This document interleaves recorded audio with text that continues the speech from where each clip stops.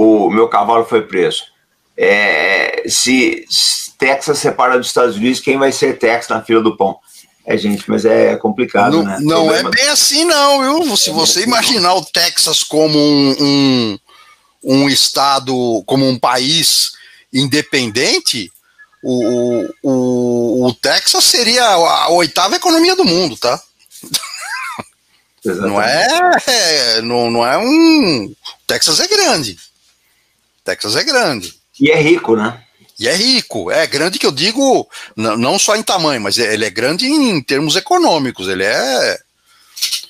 Ele, se ele fosse um, o PIB do Texas, seria a oitava economia do mundo, se fosse um, um país.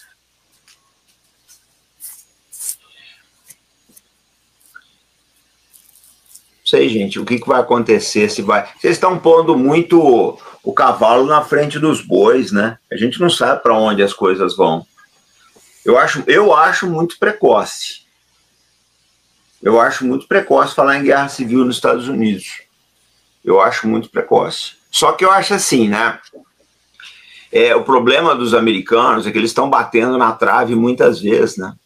Antigamente batia na trave uma vez a cada 10 anos, agora uma vez por mês eles batem na trave, né?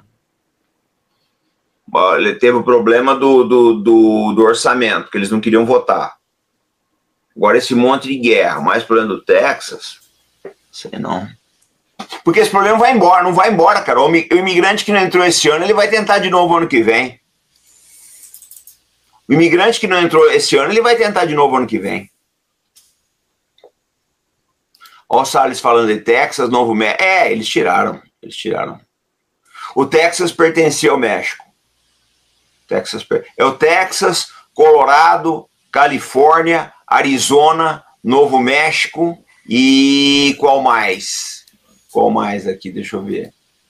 Texas, Arizona, Novo México, Califórnia, é, Nevada, Colorado, é esse daí.